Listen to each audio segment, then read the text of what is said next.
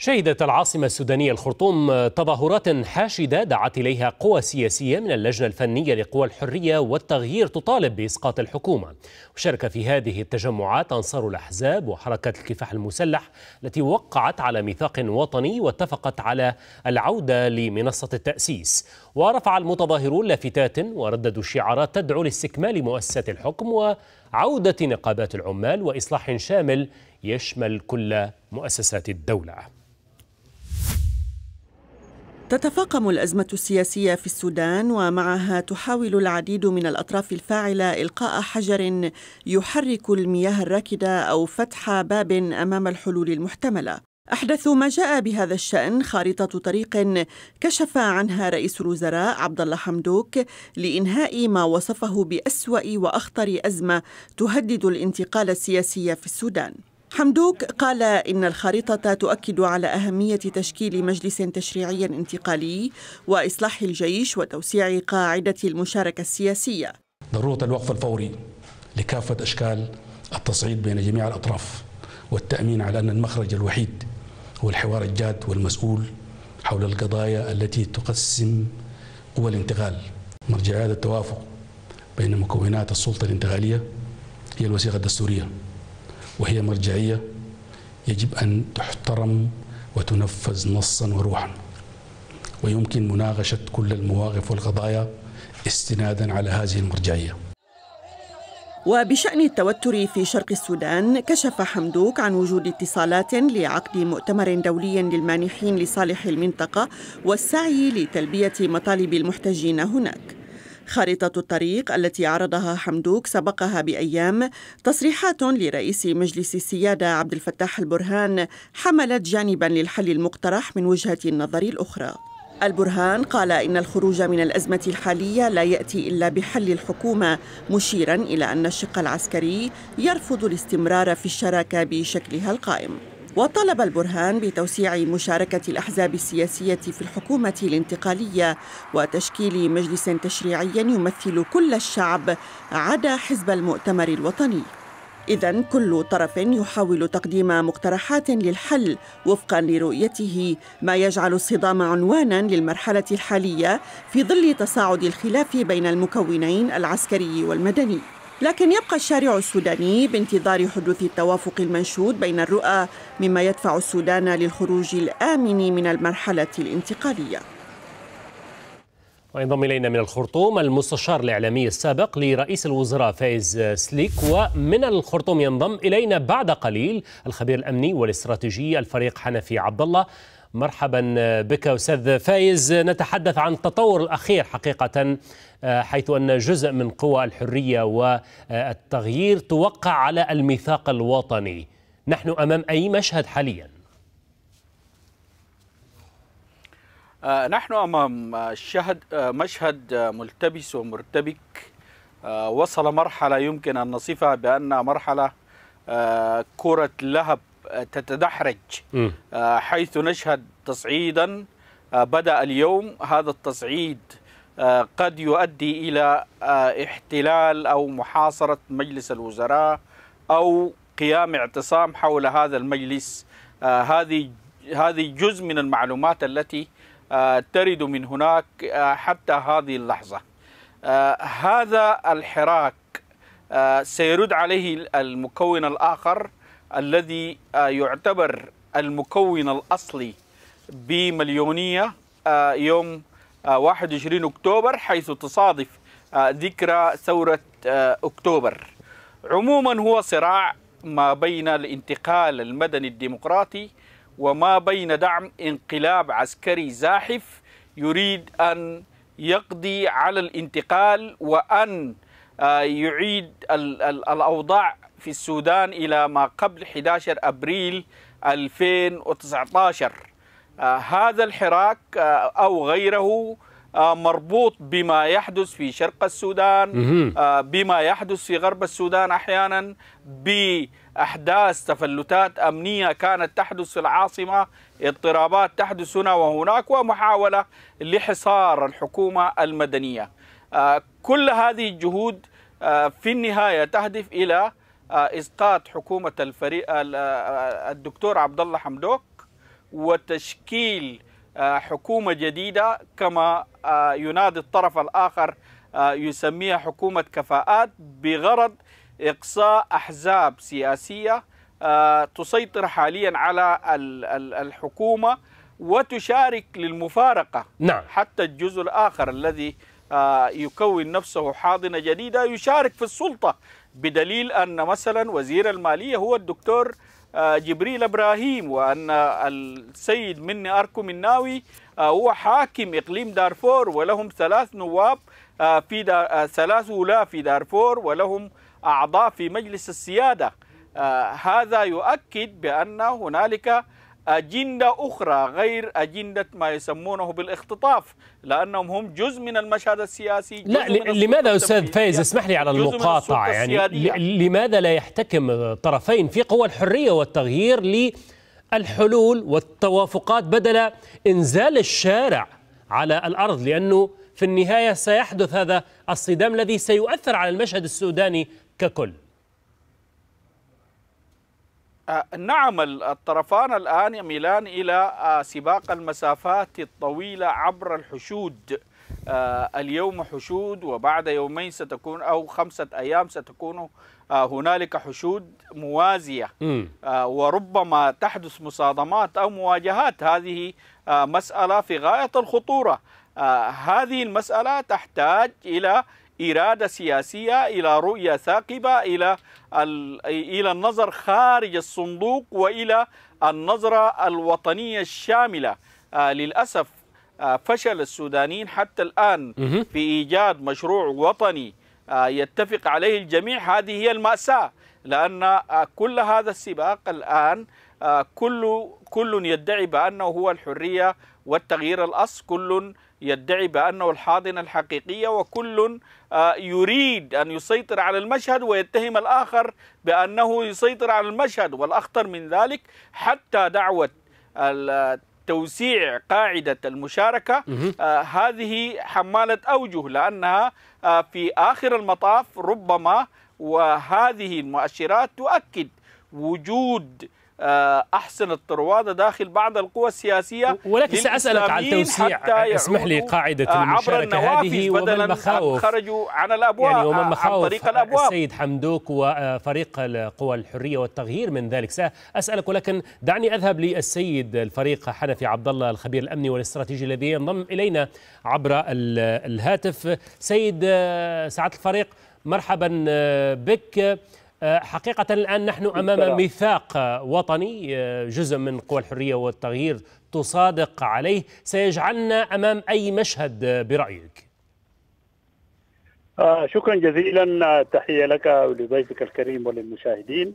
أنا أعتقد أنه آه كما ذكر ضيفك يمكن استمعت لجزء من حياة من حديثي آه هو المطلوب فعلا بالفعل حكمة و وتناسي المصالح الشخصية والتمترس بالروح الوطنية وإرادة سياسية بتوسيع قاعدة المشاركة من أصل الحاضنة وليس دون ذلك. يعني يمكن الحاضنة الأولى تقول أن هؤلاء هم الفلول وما إلى ذلك.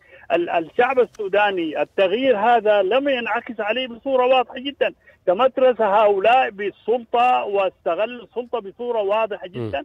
حتى ال ال ال الإجراءات التي تمت مثلا لجنة التمكين تم تكريس هذه اللجنة لتتحول إلى إلى حاضنة سياسية وإلى منصة سياسية تنطلق منها المظاهرات. نفس المشهد اليوم الآن تم تحشيد المواطنين بنفس الصورة التي حدثت اليوم في في مجلس التشريعي لولاية الخرطوم واللي هو مكاتب لجنة التمكين. الآن الصورة المطلوبة هي أن يعتد الجميع بأنه هذا التغيير لابد أن يكون في إطار المؤسسات. المشاركة الواسعة لكل طبقات المواطنين ما عدا المؤتمر الوطني. هذه واضحة جدا.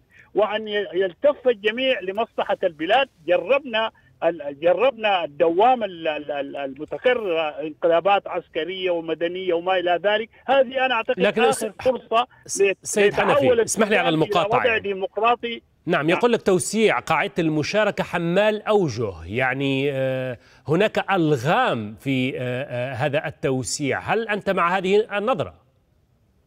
هي هي حمالة أوجه إذا كانت انفرط الحال لكن هناك صورة واضحة جدا. هناك أعداد موقعة وقع على ميثاق الحرية والتغيير. الآن أكثر من 70% من هؤلاء خرجوا اليوم.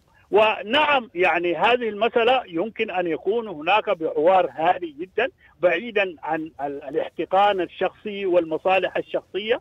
تجتمع قيادات من هنا ومن هناك. وبالتالي تتم معالجات موضوعية آه، وبالتالي آه، هذه المسألة تنعكس بصورة مباشرة جدا على الاتفاق على تصحيح المسار طيب. وتكون هناك إرادة حقيقية تكمله هياكل الفترة الانتقالية والاتجاه نحو الانتخابات حرة ونزيهة الآن هذه الحاضنة الأولى لا تتحدث عن الانتخابات يريدون أن يكونوا مجلس تشريعي بصورة يعني يعني يحاولوا استئثار استئثار بالسلطة وما إلى ذلك ويخففون من من هؤلاء لا يشكلون هذا هؤلاء يفلون هذه الأصوات هي الغير مطلوبة الآن.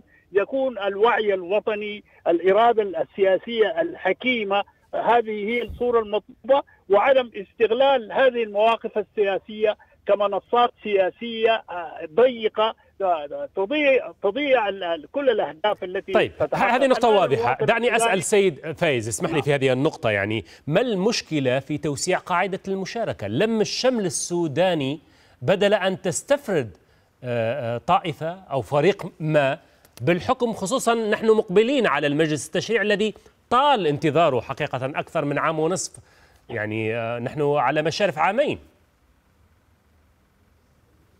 الجميع متفق حول ضرورة آه، توسيع قاعدة المشاركة بلا شك لكن آه، كما قلت أنها قد تكون حمالة أوجه أحيانا خاصة حينما تأتي مثلا من الطرف العسكري لأن الطرف المكون العسكري يريد إرباك المشهد بخلق حاضنة سياسية جديدة وببداية انتقال جديد. آه، لأن هذه الأيام أو هذه الفترة يجب أن تنتهي الفترة الرئاسية للمكون العسكري لمجلس السيادة وتحويل الرئاسة إلى المكون المدني.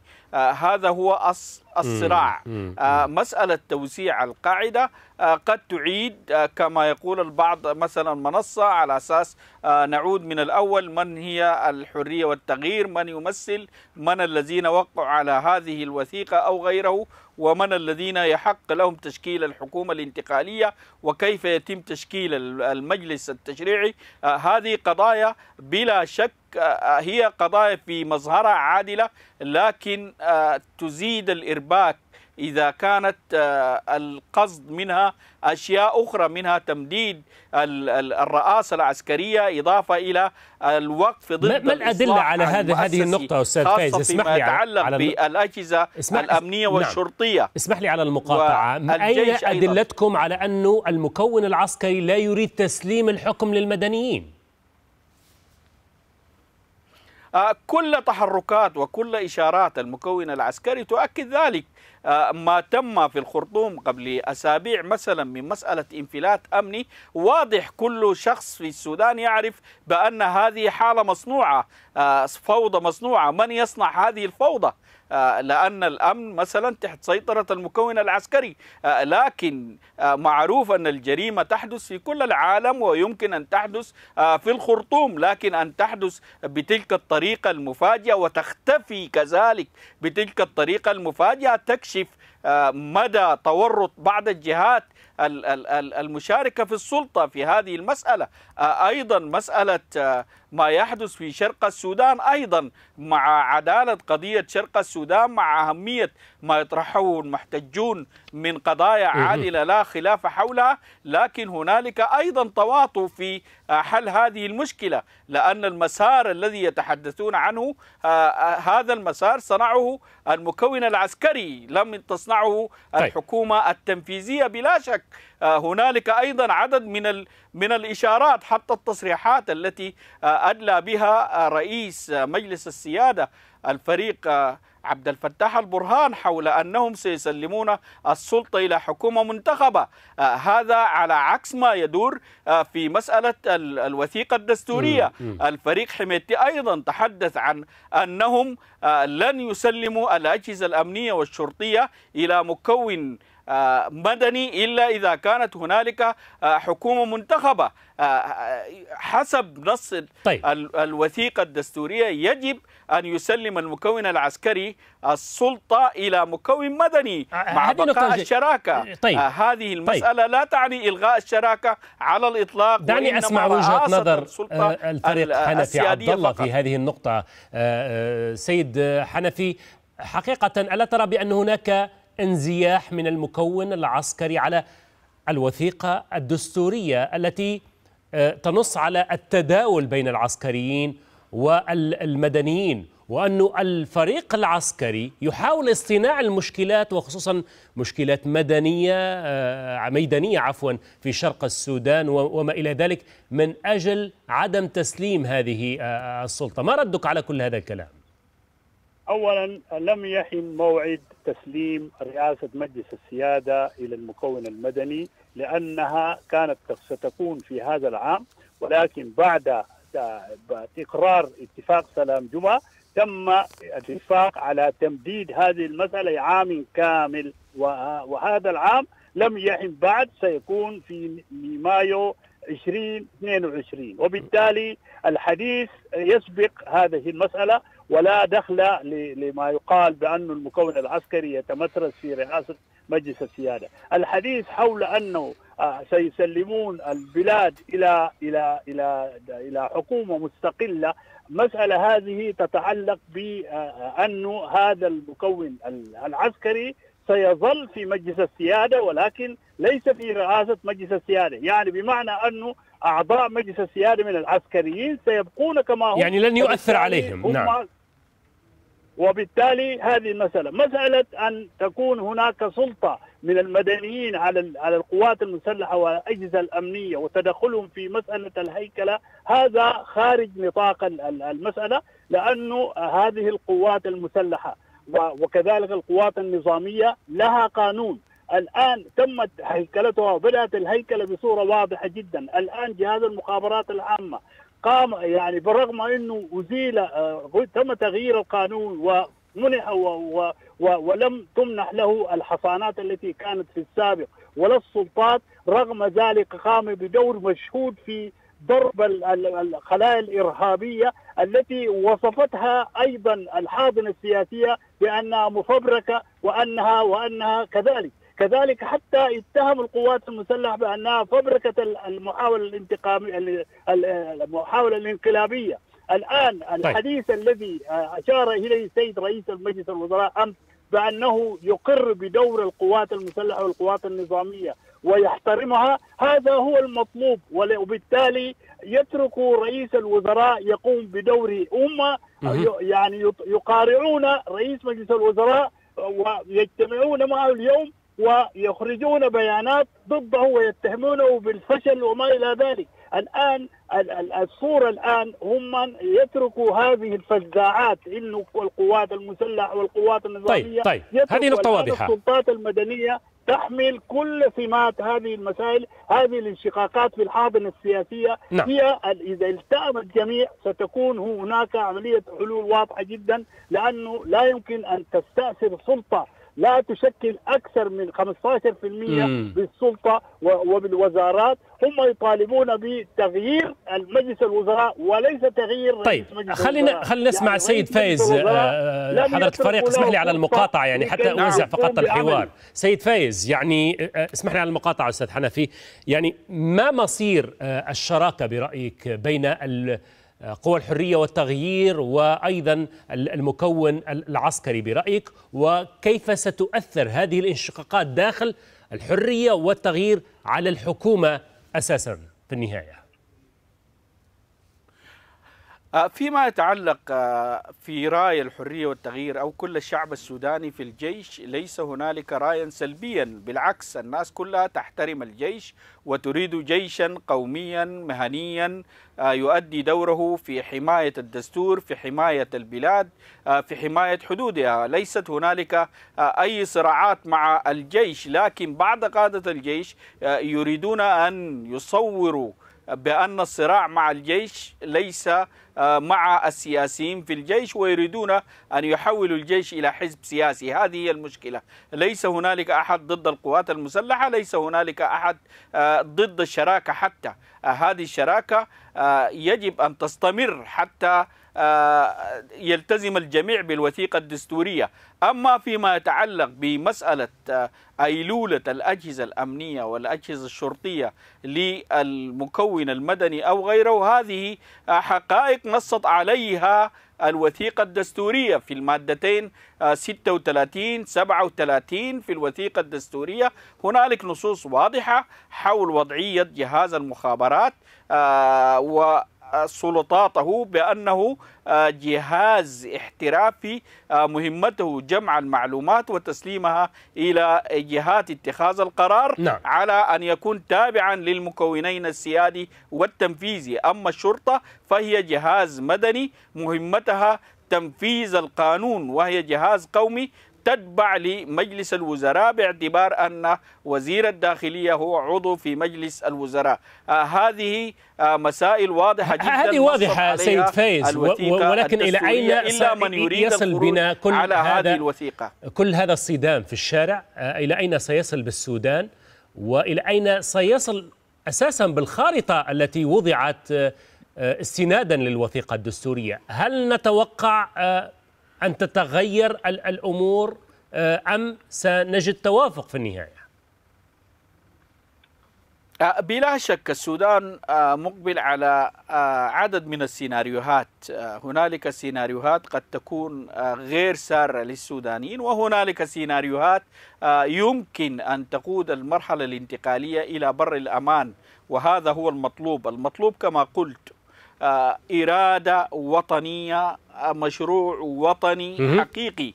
يجب أن ننأى عن شح النفس شح النفس. هذه آفة من آفات السياسة السودانية. كل شخص يرى بأنه هو الصحيح وكل شخص يرى بأنه هو الوطني والآخر هو الخائن أو هو العميل أو هو الذي لا يصلح لهذا المنصب. آه، مسألة شح النفس هي تؤثر حتى على مسألة الانشقاقات التي تحدث. هنالك انشقاقات على مستويات أفقية ورأسية ليست على مستوى نعم. فقط نعم. الحرية صحيح. والتغيير بل حتى على مستوى القوى السياسية معظمها آه هذه هي حقائق لا بد أن شكرا يعيها الناس آه فيما يتعلق بالمكونين الحرية والتغيير الأصلية يجب أن توسع القاعدة فيما يتعلق بحماية الانتقال الحرية والتغيير الأخرى يجب أن تتحول إلى أنها حاكمة أنهم رجال دولة لا معارضين إلى الدولة التي يشغلون فيها مناصب. شكرا جزيلا هو لك بداية الخروج فايز المأزق. أسليك المستشار الإعلامي السابق لرئيس الوزراء. كنت معنا من الخرطوم وأيضا الخبير في الشؤون الأمنية والاستراتيجية الفريق حنفي عبد الله أيضا من الخرطوم. شكرا لكما.